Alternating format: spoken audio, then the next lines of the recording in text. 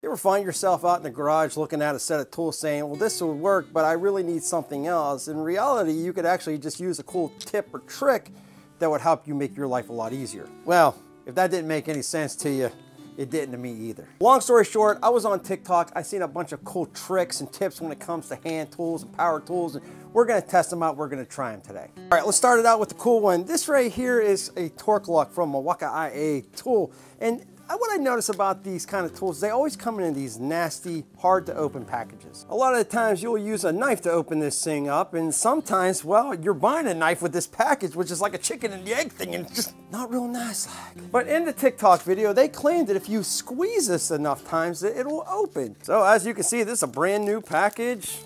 You know, even got your little zip tie on here. I just went to the Home Depot, I picked this up. Can I open this package with my bare man hands? Hmm. Now, now, now, look at this. Are you kidding me? Are you freaking kidding me? It was that freaking, my friends, you've seen that. You've seen that.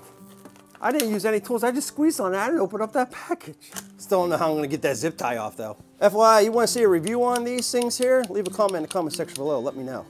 All right, so this has to do with Allen wrenches. Now, imagine you're a mechanic, you're underneath the car, and you come across a bolt with an Allen wrench head. Now you gotta find the correct size for the Allen wrench. Instead of taking this over and pulling out each one of these, well, this is what you do. You go up to the said bolt, push on this, one, two, three, and, well, you see that right there? So now I come over to my Allen wrench set, and that's too big You match it up with the hole. That should work.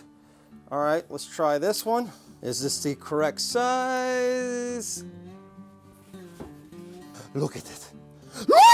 Is that not the weirdest thing, man? Now, the impression's gone off my thumb, so you only have limited time to do this. But again, just gonna push down on this. One, two, three. Come over, you should be able to see that on my thumb right there. And this should line up with the inner circle right there. All right, next up we got hole saws. Now we've all made this mistake before. We accidentally cut a hole of two inches when we really needed a two and a quarter. All right, so we all know how these work, right? We find the size of the hole saw that we want. You got the little drill bit right there, and that's gonna help us follow without jumping around. but now that I cut this out, well, my drill bit Come on, man. My drill bit doesn't have anything to grasp onto, so if I go with something bigger, that thing might just spin all over the place. Well, that isn't two now. So that is a one and a half, and oops, I should have went with two inches. All I need to do is, well, take the one off that we just used, the inch and a half, take it and put it in the, well, two inch, take them and, well, screw them both on at the same time. Go slowly with this, my friends. Tighten it down. Look at it. Go back to the exact same hole that you already drilled. That's going to be used as your pilot now. Whoa! All right, so the next one here, I'm gonna have to see to believe with my own eyes. Basically what it comes down to is a lot of people are gonna strip out or bust out or blow out the side of their wood right here. And well, that's not real nice like. So let's see what happens when I put this screw at the corner of that piece of woodage. So you can see it split it down through here. So the premise of this is, well, I guess the point at the end of this is pushing everything out. So if you just cut little piece of that tip off, just the tip We'll go like that. Well, it's supposed to stop this from happening. Let's see, shall we? Move it to the same point. Three, two, one. What? It did, it actually stopped. Like the only reason why it went all the way down, let me try this one more time. We'll take the one that actually split this right here. The only reason why that split is because I went too far down with it. But let me clip the end of that. Okay, three, two, one. What the heck, man? Okay, so uh, that worked. All right, my friends, if this one works, it's gonna be real nice.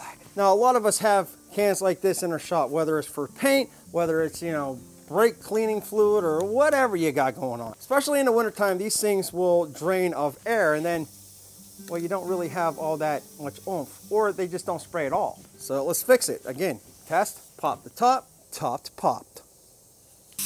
Air compressor, one, put that in there.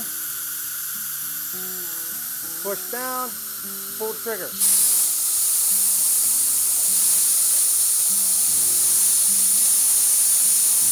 Put the cap back on.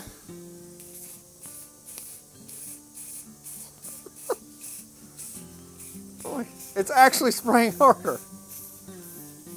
That's real nice like. So apparently you can put air back into your cans. All right, so the next cool trick plays no role in helping your life become easier. But if you want to impress your friends and show them a trick that you know that they don't, well, try this. Now it has to do with a screwdriver and a any type of compressed air coming out of a compressor, such as one of these right here. Now, you definitely don't want this to be wide open. You want the air to be forced out through a smaller tube as such. And then you let the aerodynamics take over, my friend.